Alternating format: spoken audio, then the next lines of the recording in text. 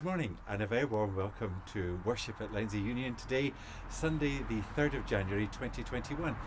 And a very happy new year to everybody, and I hope that you'll know God's peace and God's blessing as this new year begins.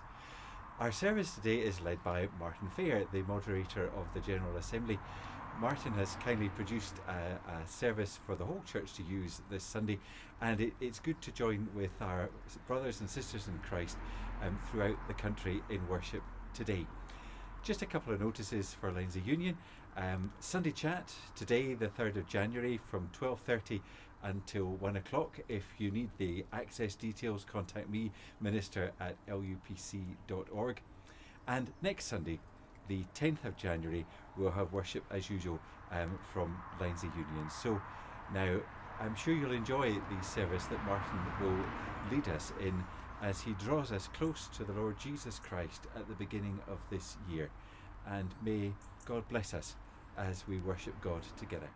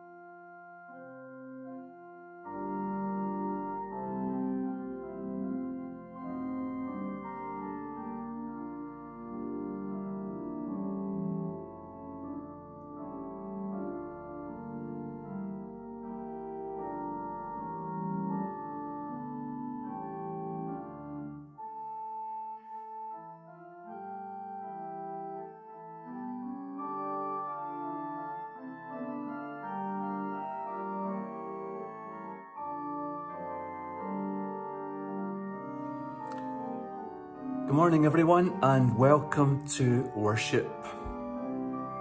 Well, everything was different this Christmas, and yet everything was the same. The truth that Jesus Christ came into the world, Emmanuel, and that's what we've been celebrating and will continue to do so. I know it's January, but January is the darkest of months.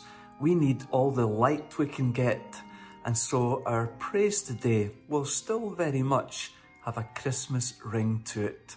I want to thank everybody who has contributed to this worship service today so willingly and ably.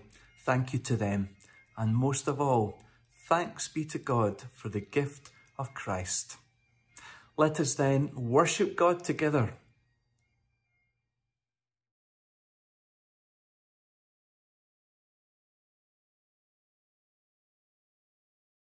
Once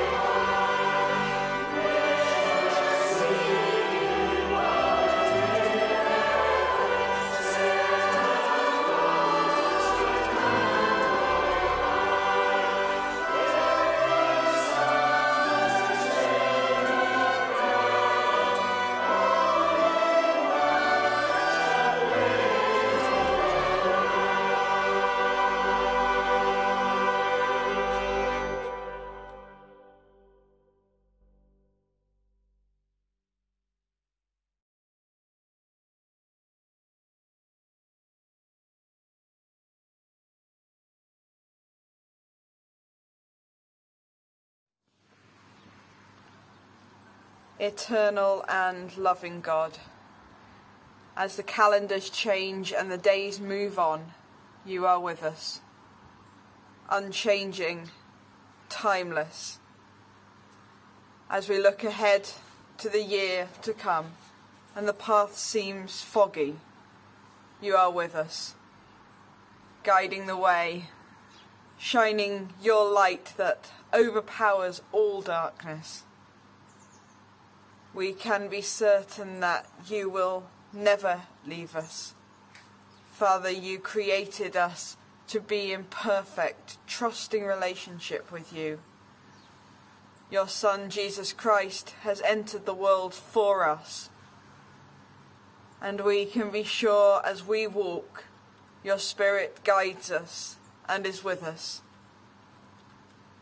We are, Father, totally wrapped up in your love and care. Yet we confess that sometimes we still choose to turn away. There are times when we try to take control of our lives and we close our eyes to the safe paths that you have prepared for us to walk. We ask your forgiveness and our trust returns, you turn us back towards the star that guides our way. We are provided certainty that this forgiveness will be given through our Lord Jesus Christ.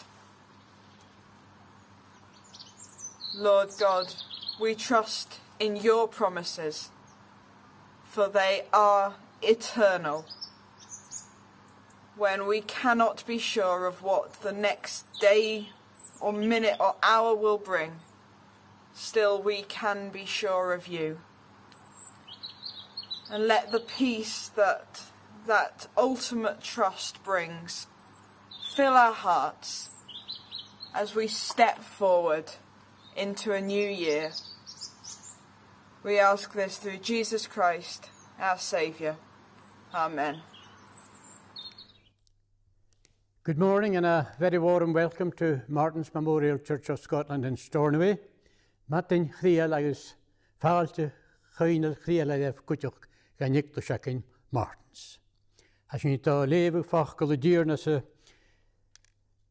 salam seach go salam.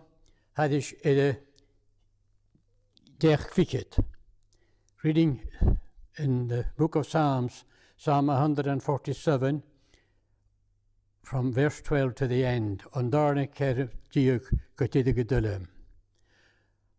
Mollag an díorna a Israel mollag do a hían, ar neirsta ce crínt a géitechan, Bhena ce a an do bhstuocht. Ní é si a tríochan, sása ché le smir a chrineach.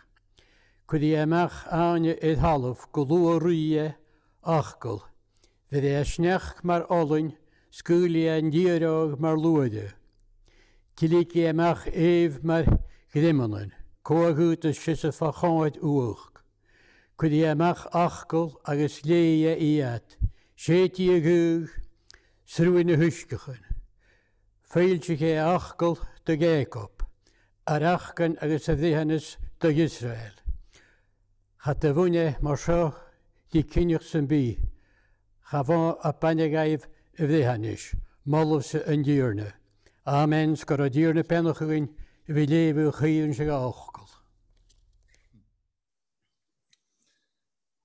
Well, Joe, didn't that sound great? Neil reading Psalm 147 in the Gaelic.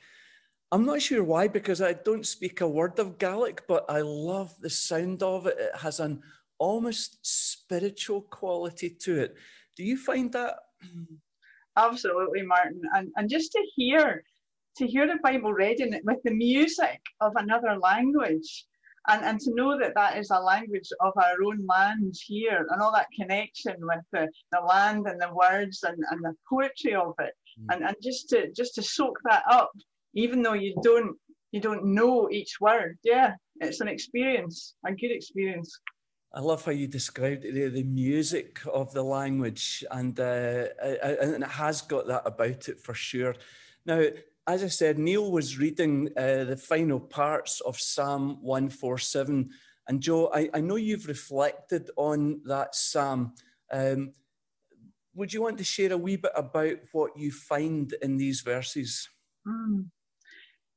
Well, first of all, Martin, I think what apt verses for winter days the snow, frost, hail, cold, wind, and God being in charge of them all. And it's a psalm that takes us back to times probably before the exile with Jerusalem and her people, the beneficiaries of God's, God's protecting and blessing and feeding and peace building. And there's a tender note in there too being sounded with the mention of the children, the little ones in society. In contrast to Jeremiah, whose words we, often, we also hear today, words that were rejected, but here the word of God revealed to Israel is regarded as a gift solely for her.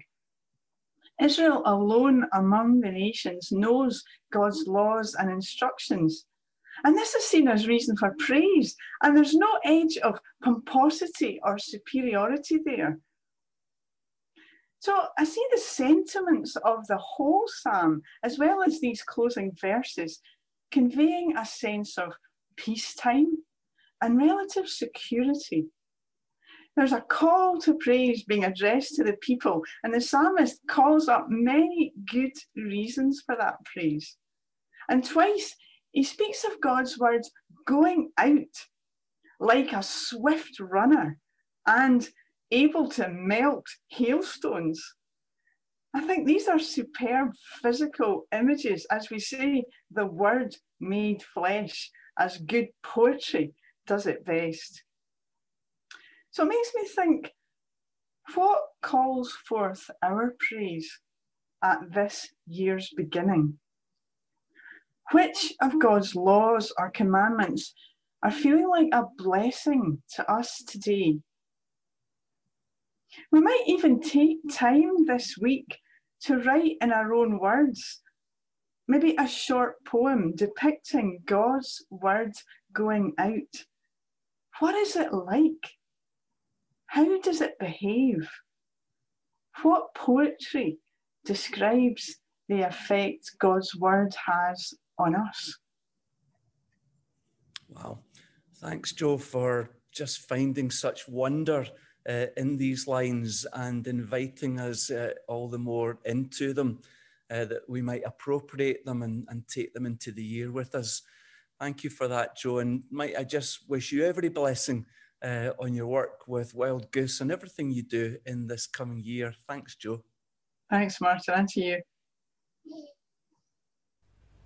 John chapter 1, verse 10. He was in the world, and the world was made through him, yet the world knew him not. He came to his own home, and his own people received him not.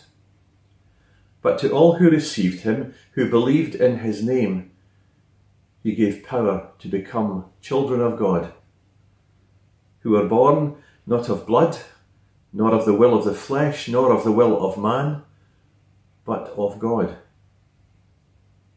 And the Word became flesh and dwelt among us, full of grace and truth.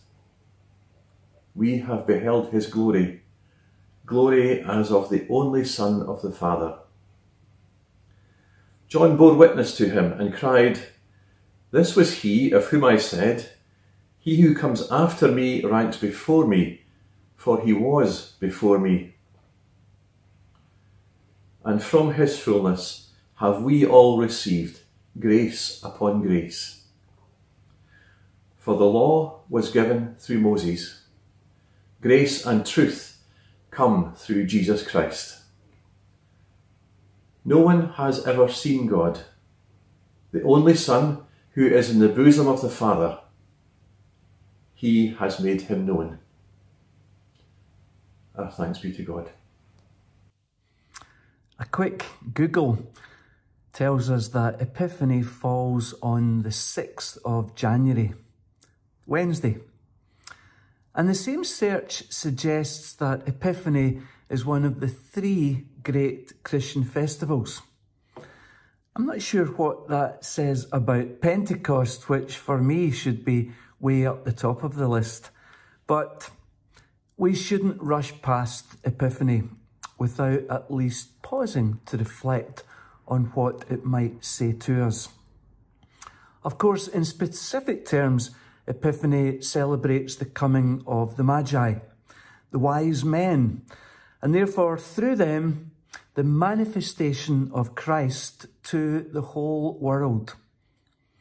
Now, most scholars agree that the visit of the Magi was some time after the actual birth of Christ. So maybe it's no bad thing that we have Epiphany a little after Christmas Day itself. But the word Epiphany takes us further than that specific happening. The Cambridge Dictionary defines Epiphany as a moment when you suddenly feel that you understand or suddenly become conscious of something that is very important to you.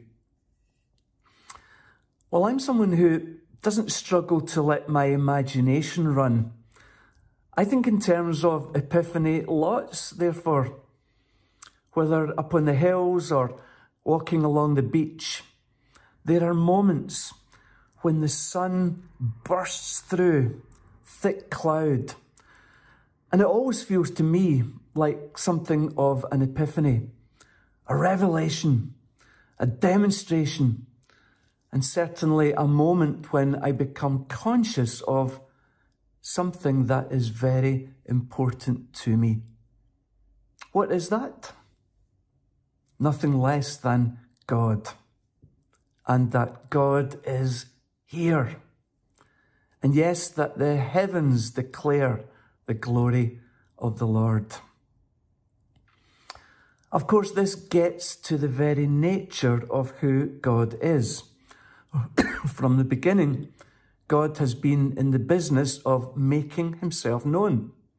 The creation itself is the outworking of the truth that God said, that God spoke, and there was something rather than nothing.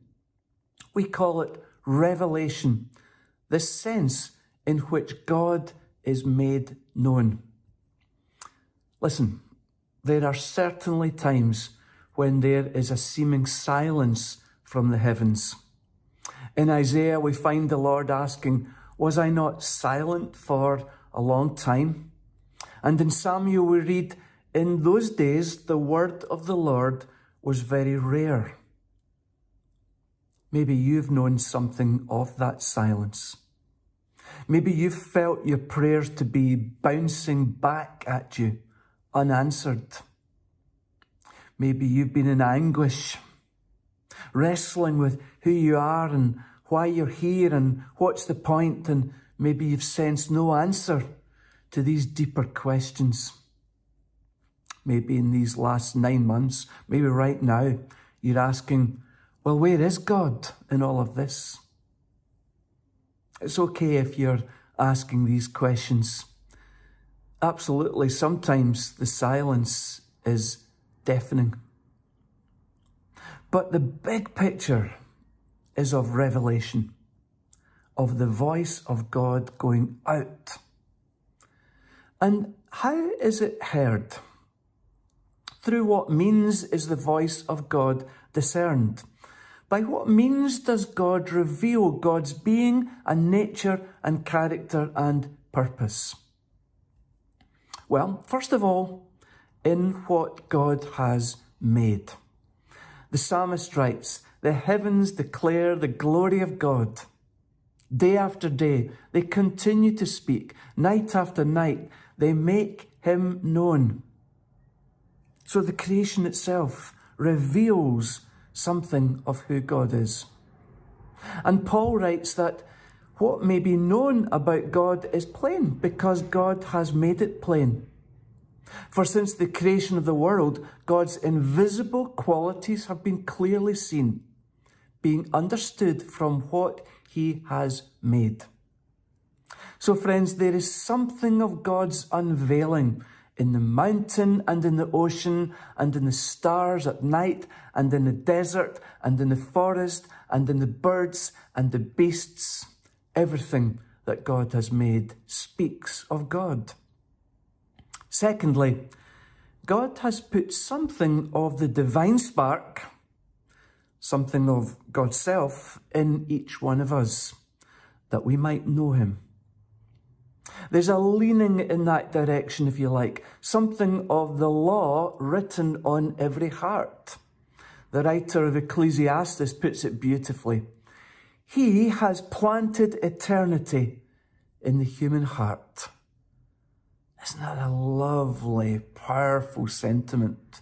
Something of God's eternity on our hearts. And God reveals more of the divine nature through anointed prophets, tasked with saying, Thus says the Lord. The Apostle Peter writes, We have the prophetic message as something completely reliable, like a light shining in a dark place.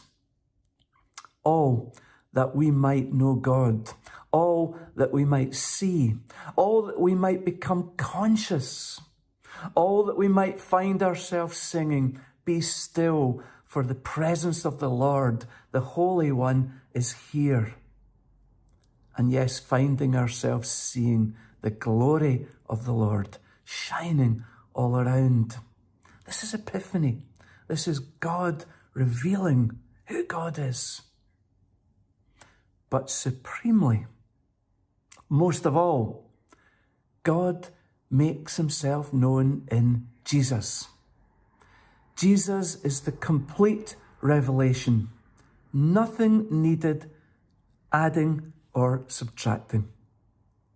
In the wonderful prologue to his gospel, John tells us that no one has ever seen God, but that the Son, that is Jesus, has made him known. In Colossians, Paul says much the same by declaring Jesus to be the image of the invisible God. And in Hebrews, the same truth that Jesus is the reflection of God's glory and the exact imprint of God's very being. Jesus, the exact imprint of God's very being. Which is all to say that God wants to be known, that in Jesus we can say, we have seen the Father. I've shared this story before of when our middle son Andrew was just a wee boy, maybe about three. We were on a car journey coming home one day and he asked us completely out of the blue, what colour is God? Well, I might be the minister, but my wife's a primary teacher. So I said to Elaine, you can answer that one.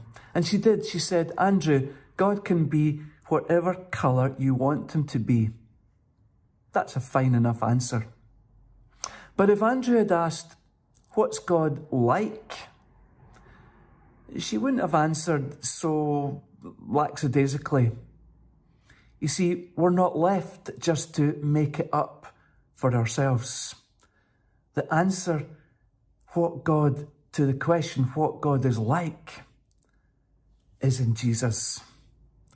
When we see Jesus, we see what God is like.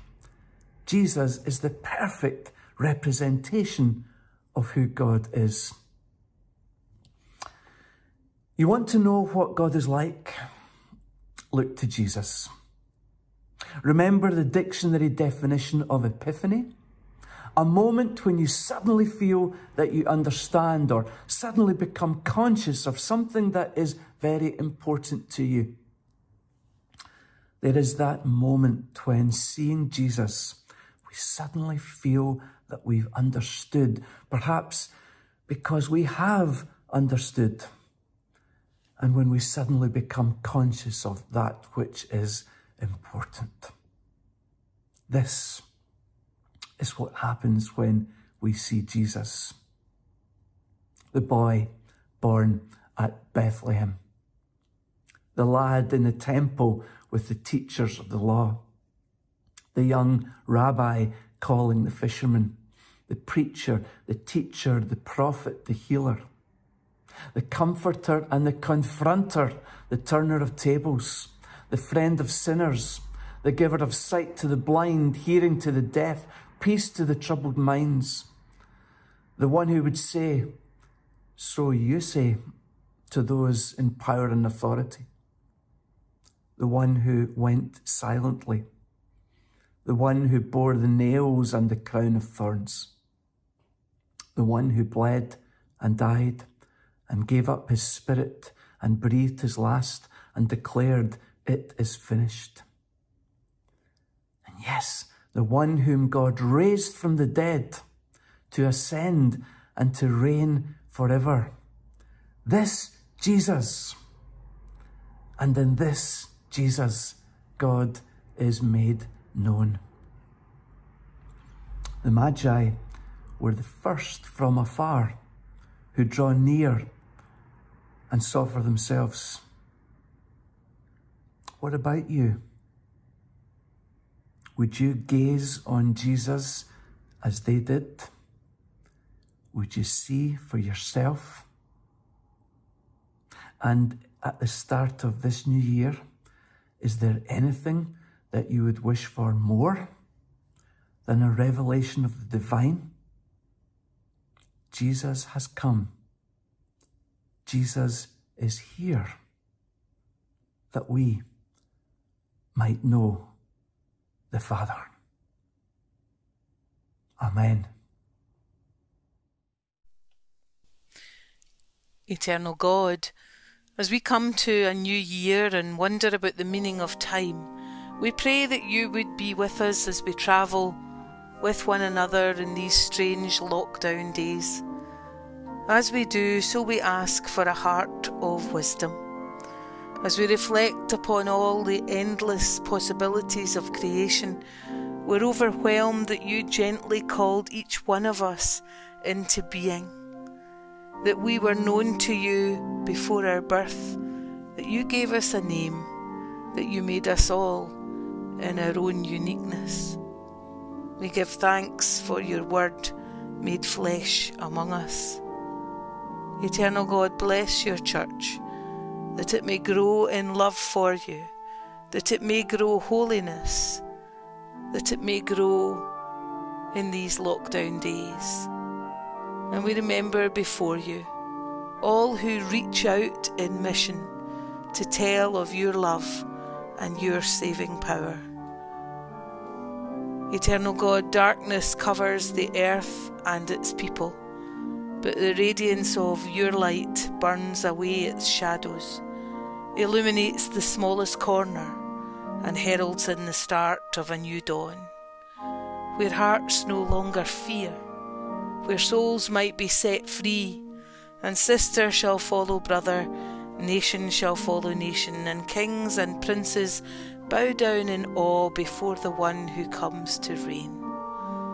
We pray for our communities, that snapshot of humanity with all ages, backgrounds, education, politics, and religious viewpoints, who are our neighbours in the streets where we live, and we pray for all of them, not only those we know by name and chat to through the day, but also familiar faces about whom we know so little, and pass by with just a smile, all in need of your love at this time. Bless their homes and their families and let your love and peace so shine within our communities that smiles turn to conversations and strangers become friends. We pray this through Jesus Christ, the Prince of Peace. Amen.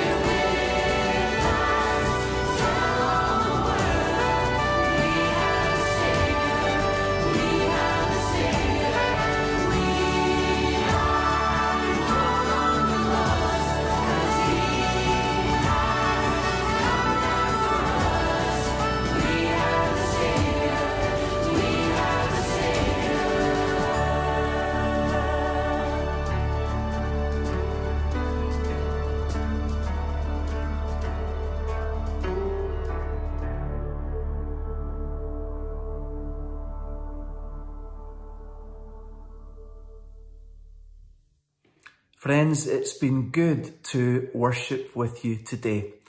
I hope you have been blessed by our time together, perhaps challenged, perhaps comforted. Either way, know that God will go with us.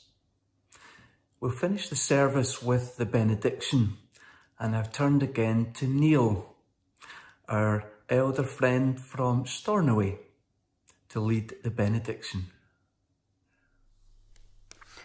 Le